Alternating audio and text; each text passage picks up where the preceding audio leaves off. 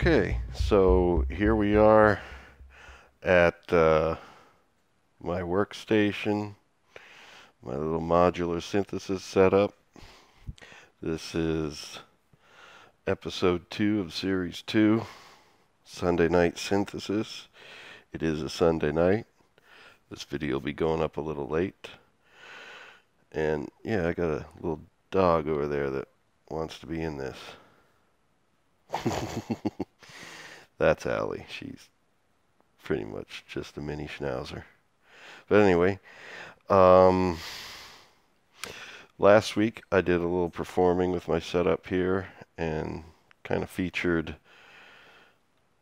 uh, among the other, well, there's two featured instruments. This, the Koma Kommander, and this, the uh, Korg SQ1 step sequencer. This week I wanted to just go into a little more depth about the Koma Kommander. It's a nice unit. Um, I mostly bought it to control my Werkstatt here because the Werkstatt just has a little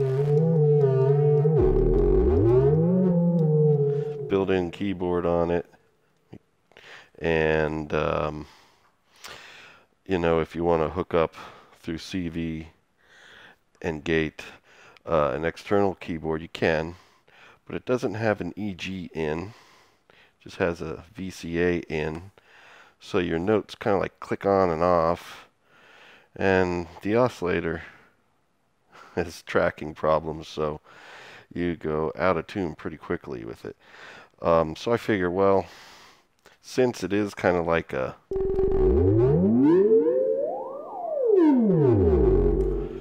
theremin by its own nature, might as well try to use something like a theremin to control it. And so I got this Koma Kommander. It has two sections to it. See, there's three sensors up here. These are labeled 2, and these three down here are labeled 1. And really what it is, it's a pair there's three sensors, but they're working like a pair in that the one sensor on its own here is picking up um, gate signal. If there's something present in front of it, it's on. For example, I have this patch cable here, this black one, going into the VCA over here on the Werkstatt. If I hit the keyboard, it's on, but you know, if I wanted to trigger it on with this, I could. You know, if the hand's there, it's on. Snaps on and off because it's a gate signal. It's either on or off. So you hear a hard effect at the beginning or end. Um, but that can be used to send, you know, on and off gate signals.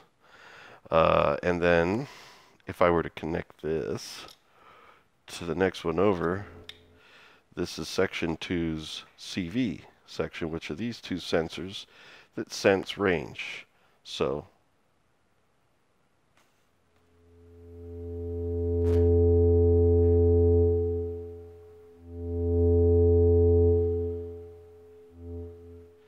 so I could control the VCA that way. Since it's not just a drastic on-off signal, you get fades. So if you wanted to have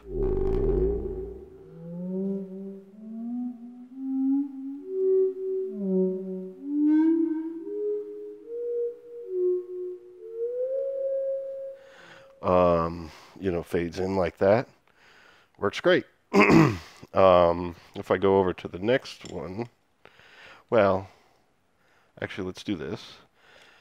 If I put the black cable back into the gate, that sends a gate on-off signal to the VCA.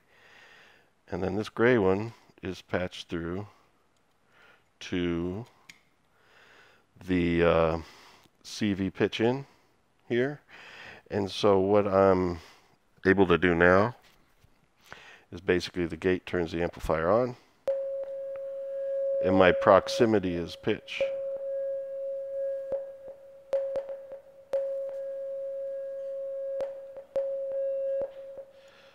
I'm not hearing that.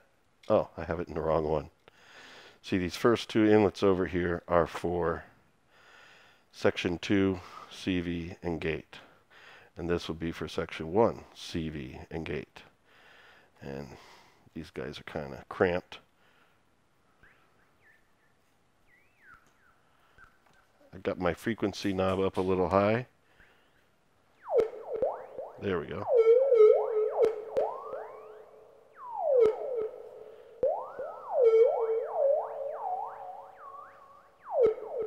But you see, when I go so far away, the gate just snaps off. Um, so a lot of times what I like to do is use the two, two CVs here. So right now this gray cable is going to be hooked up to CV of section 2, the upper half. And this black cable is hooked up to CV of section 1, the lower half. So now in the lower half, that's where I can control the amplifier, the loudness. And here, I can control pitch.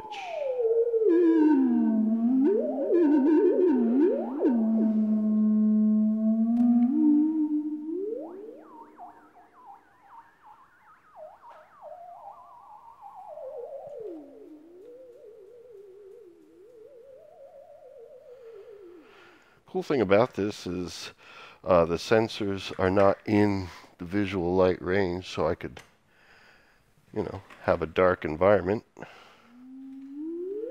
It works just as well. I believe they're UV,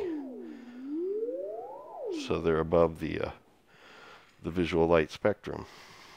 So that's kind of cool. I like the. Uh, now, if this, oops, let's get the light back on if I had the uh, an EG in on this, oh, excuse me, turn this off for now. If I had an EG in on the Werkstatt, then I could set up an attack and release here and use the gate to trigger notes and stuff like that. But it doesn't, it just has the VCA in, so. Um, but I still, you know, can do a lot with it. Um, if you have a different synth that has, you know, an envelope gate input, then you can kind of use it in that way. Uh, otherwise, you know, the VCA snaps on and off with gates. So I like using the two CV outs. Fortunately, it has two sections, so you have two CV outs that allow you to control range. Um, maybe, for example, you want to do something that's more sustained. I'm going to switch these. Like if you're doing drones and so forth. I'm going to use the uh, the black cable, which is a CV of the lower section here. That's going to control pitch again. Ah, Got to get it in there. And then I'm going to use this one to control the filter's cutoff frequency. So, for example, I'm going to turn this on. I'm going to turn on the sustain of the Werkstatt. There we are. That's the cutoff frequency of the low pass filter.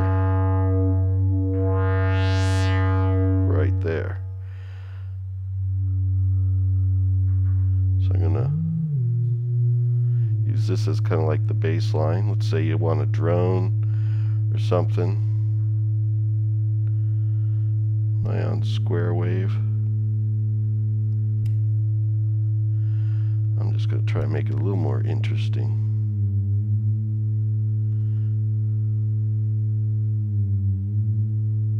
Put a little LFO on it.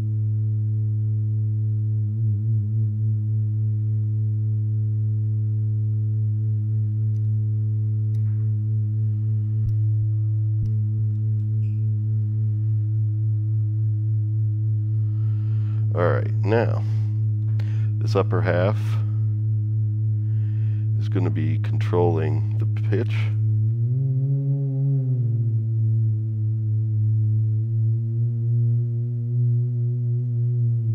And the lower half, the cutoff frequency.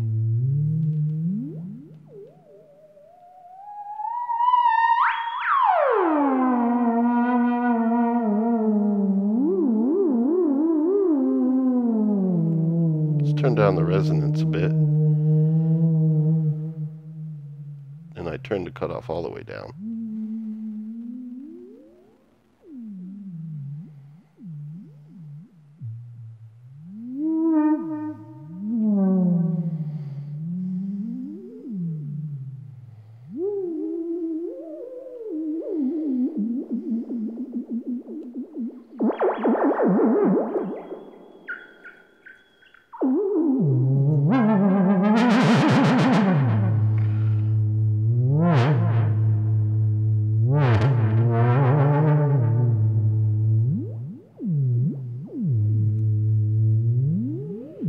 Actually is controlling the pitch. I'm sorry, is the opposite.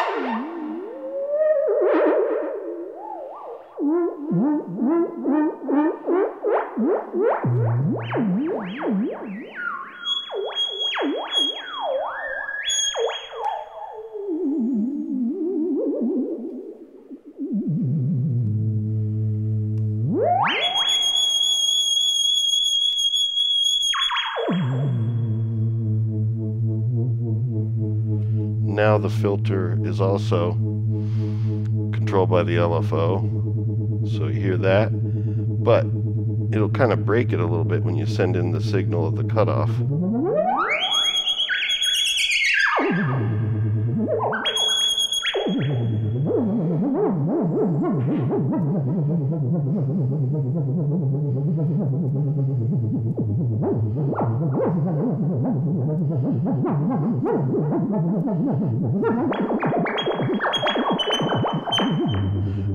Here's the frequency of the pitch. Turn that up.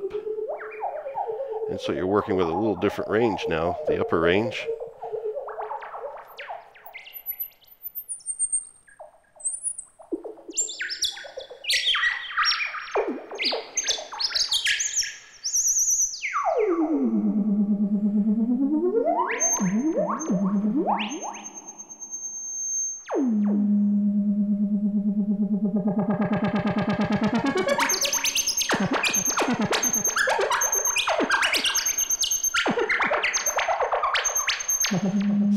Just like to have fun. So anyway, now everything here was going through a delay over there, the um, Zoom CDR 70.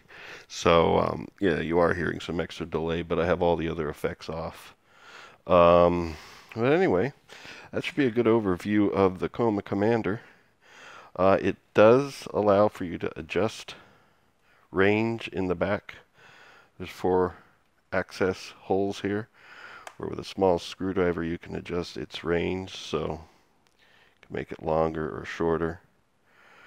This seems to be a good range here for my uh, workstation. And um, if you take the back off, there is another adjuster there uh, for voltage. Basically, it can do multiple voltage ranges and you have to set it according to what your voltage range was. This is plus or minus 5 dB, the Moog Werkstatt. Not dB, plus or minus 5 volts. And so that's what I was using um, in the range. Fortunately, tech people at uh, Perfect Circuit Audio, which I ordered it from, um, set it for me. So that was cool of them to do. Yeah, because this is actually, the company Koma is not a US based company. And so you have to look to see what retailers carry it here. Perfect Circuit Audio does. I mean, they're one of the big synth um, stores in the country.